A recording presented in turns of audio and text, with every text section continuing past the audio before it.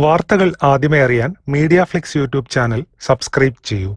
പുതുപുത്തൻ വാർത്തകൾ നേരത്തെ ലഭിക്കാൻ ബെൽ ബട്ടൺ ക്ലിക്ക് ചെയ്യാനും മറക്കരുത്.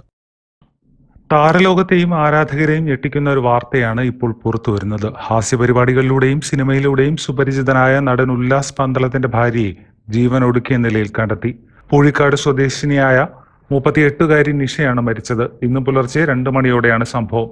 വീടിന്റെ ഒന്നാം നിലയിലാണ് നിഷയെ തൂങ്ങി മരിച്ച നിലയിൽ കണ്ടെത്തിയത്. സംഭവത്തിൽ വലിയ ദുരൂഹതയാണ് പുകയുന്നത്. ഭാര്യയെ കാണാനില്ലെന്ന് അറിയിച്ച് ഉല്ലാസ് പന്തളം പോലീസിനെ വിളിച്ചിരുന്നു. പിന്നാലെ പോലീസ് സംഘം വീട്ടിലെത്തി പരിശോധിച്ചപ്പോൾ മുകളിലത്തെ നിലയിൽ നിഷയെ തൂങ്ങി മരിച്ച നിലയിൽ കണ്ടെത്തുകയായിരുന്നു.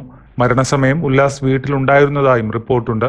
പിന്നെ ഭാര്യയെ കാണാനില്ലെന്ന് പോലീസിൽ അറിയിച്ചത് എന്തിനെന്നാണ് ഉയരുന്ന ചോദ്യം. തൂങ്ങിയ നിലയിൽ കണ്ടെത്തിയതിനു പിന്നാലെ ഉല്ലാസ് പന്തളം തന്നെ ഭാര്യയെ കെട്ടഴിച്ച് വാഹനത്തിൽ ആശുപത്രിയിലേക്ക് കൊണ്ടുപോയി. എങ്കിലും ജീവൻ രക്ഷിക്കാൻ കഴിഞ്ഞില്ല.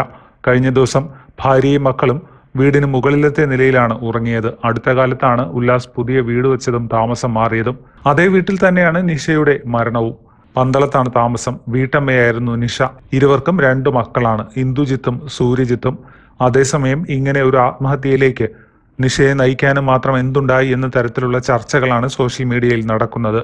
മൃതശരീരം അടൂർ ഗവൺമെന്റ് ആശുപത്രിയിൽ സൂക്ഷിച്ചിരിക്കുകയാണ്. ഉല്ലാസിനും ഭാര്യയ്ക്കും തമ്മിൽ എന്തെങ്കിലും പ്രശ്നങ്ങൾ ഉണ്ടായിട്ടുണ്ടാകാം എന്ന നിഗമനത്തിലാണ് പോലീസ്.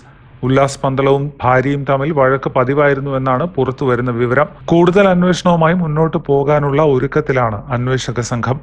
അതേസമയം പ്രേക്ഷകരെ പൊട്ടിച്ചിരിപ്പിക്കുന്ന അദ്ദേഹത്തിന്റെ കുടുംബജീവിതത്തിൽ ഇത്രയധികം പ്രശ്നങ്ങൾ ഉണ്ടായിരുന്നു എന്നാണ് ആരാധകരുടെ ചോദ്യം.